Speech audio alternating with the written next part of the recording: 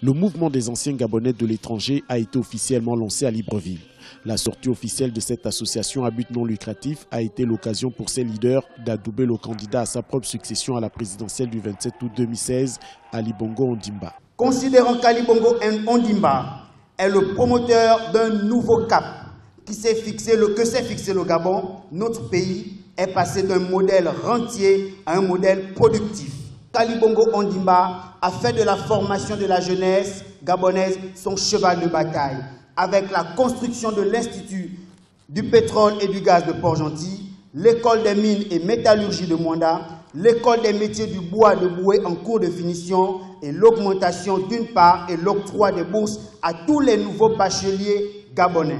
Nous nous engageons à accompagner, à soutenir le président Ali Bongo Ondimba afin de lui assurer une victoire sans équivoque. Pour ce nouveau mouvement des 14 candidats à la course au fauteuil présidentiel, seul Ali Bongo Ondimba a un projet pour les Gabonais de l'étranger.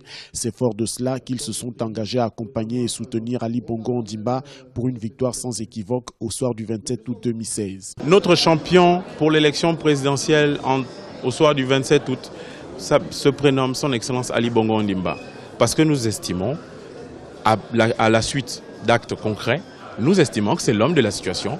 Et aujourd'hui, nous, Gabonais, rentrés au Gabon, venant de l'étranger, et Gabonais de la diaspora, nous disons stop au chantage, nous voulons la paix, et avec Ali Bongo Ondimba, nous savons que nous allons rester en paix et nous allons atteindre le développement le mouvement des anciens Gabonais de l'étranger souhaite devenir le partenaire privilégié de l'État en matière de réinsertion des Gabonais de l'étranger. Il œuvre pour l'intérêt des Gabonais de l'étranger.